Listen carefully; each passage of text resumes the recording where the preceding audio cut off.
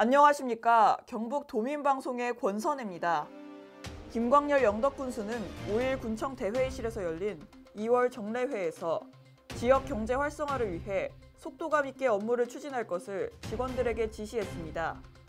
먼저 김 군수는 조직 개편과 연초 업무 보고를 비롯해 아프리카 돼지열병 대응에 눈코뜰 새 없이 고된 한 달을 보낸 직원들을 격려하며 긴장의 끈을 놓지 말고 상황이 완전히 종료될 때까지 만전을 기할 것을 주문했습니다.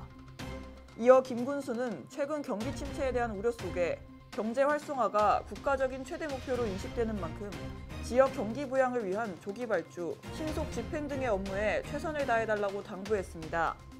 특히 김 군수는 관내에서 열리는 전국 최대 규모의 춘계 중등 축구 대회에 110개 팀 4,500여 명의 선수단이 몰려 지역 경제 활성화에 크게 기여하고 있다며 성공적으로 진행되고 있는 대회를 끝까지 잘 매도지고 추가적인 전지훈련을 유치해 지역의 이미지 향상과 부가가치 창출에 이바지하자고 독려했습니다.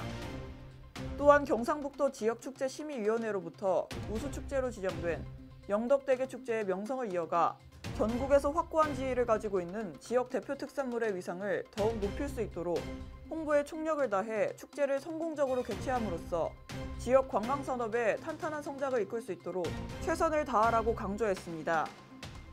끝으로 김광열 영덕군수는 여러분이 노력하는 일이 모두 국민의 삶의 혜택으로 돌아간다는 것을 명심하고 공직자로서 보람과 긍지를 가져달라고 당부하며 여러분과 함께하는 모든 과정에서 제가 가정 앞에서 비바람을 맞고 책임을 짊어질 것이라는 믿음 속에 소신과 자신감을 갖고 공무에 임해달라고 힘주어 말했습니다.